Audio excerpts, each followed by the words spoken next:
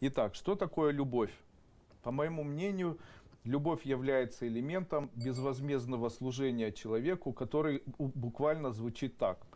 А, Человек, который говорит «я люблю тебя», фактически произносит следующие слова. «Мое тело, мои деньги и все, что... мои чувства, все принадлежит тому, кому я говорю «люблю», безвозмездно, то есть даром. Я готов это все отдать. То есть это тотальная самоотдача человеку.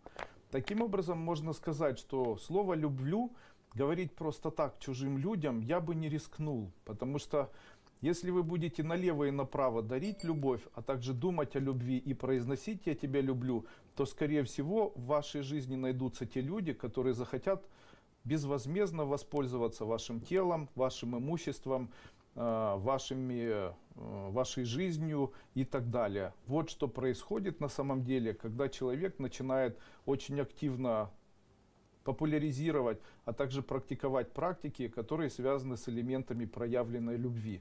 Я бы на самом деле не рискнул бы заниматься вот такими практиками, потому что я считаю, что это однозначно 100% в дальнейшем приводит человека к тому, что он сталкивается с трудностями физического здоровья, так как кто-то отбирает его здоровье. Когда он говорит «люблю», он фактически говорит «ты можешь безвозмездно забрать все, что ты хочешь и что принадлежит мне» э, свои, свои, теряет финансы, теряет э, бизнес, теряет семьи. Это все на фоне того, что это происходит.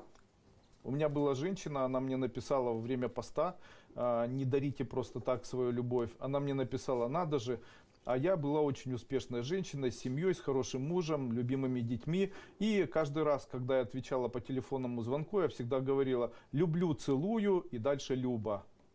И говорит, это были смс это было все время. Итог такой, сейчас она очень больная, очень несчастная, потерявшая имущество женщина. Вы представляете?